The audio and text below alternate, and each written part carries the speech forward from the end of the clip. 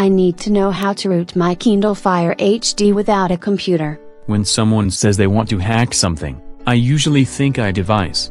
Go to the menu, More, Devices, and select Allow installation of applications from unknown sources. I know that if you have Android, you can get the Amazon Underground app to run the Amazon App Store on the Android. If you're on Android, go Settings, Security, Unknown Services and select it. Then you should be able to install apps off Amazon. I'm glad to know it doesn't have to be a major process. The Kindle Fire tablet is just easier to work around the restrictions because it is based on Android.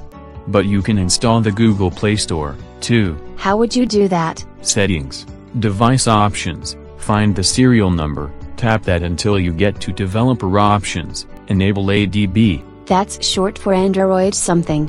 Then you have to install ADB drivers, though that's a security risk. I can get them from Google as part of the Google USB driver package. Connect the Kindle Fire to a computer or tablet, save the drivers to that device, install the drivers onto the Kindle via Update Drivers, update the Android Composite ADB interface, and then you have to download and run a number of scripts. This simple way is not so simple. Don't forget to allow USB debugging in case hacking the Kindle causes even more problems. Then you'll eventually get to the tools to install the Google Play Store. Only because of that driver package you were discussing. Let's say you want to do a formal rooting of the Kindle Fire HD.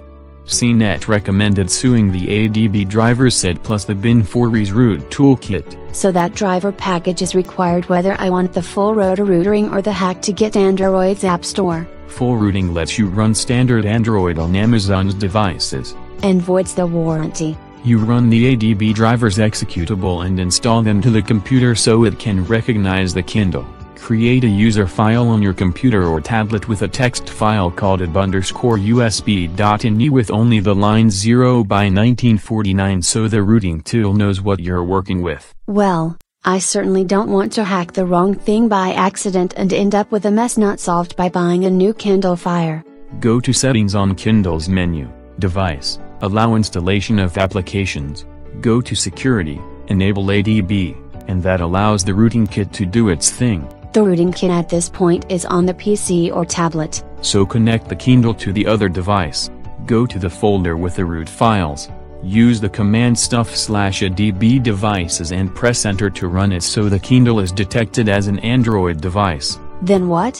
When it detects the Kindle Fire HD as Android, enter the command run me and let the batch file instructions tell you how to root it the rest of the way. Assuming it ran the right way. Make sure the Kindle is unlocked and when it says restore, select to do so. That'll reboot it at that point. Yes, and you'll see some other prompts come up on the computer as the rooting runs. Make sure you unlock the Kindle every time it reboots, and when the router says it is done, you're now ready to install what you want. But how do you do all this without a computer? Do the same thing with an iPad or other device powerful enough to run through the same process.